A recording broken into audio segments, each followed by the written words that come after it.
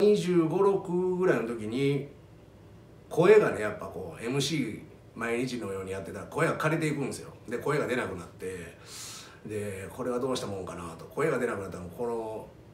夢も叶えられへんと思ってできないと思ってずっと悩んでた時期があって。お医者さんに行っても結構落語家さんにはもうよくあるらしくてこ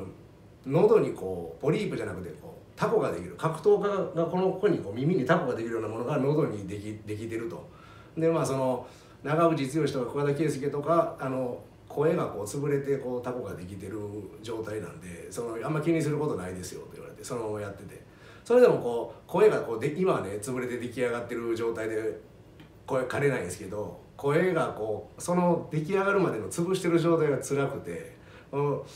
ある日ジブラさんがこうゲストに来てる時に朝方もお二人で酔っ払いながらちょっと「あの喉のケアとかしてます?」って言ったら「そんなん考えたことねえよ」って。言ってでこれ言われたんでそっからもう何も考えんとこうと思って。そしたらもうすごい気が楽になって声が出るようになりましたね。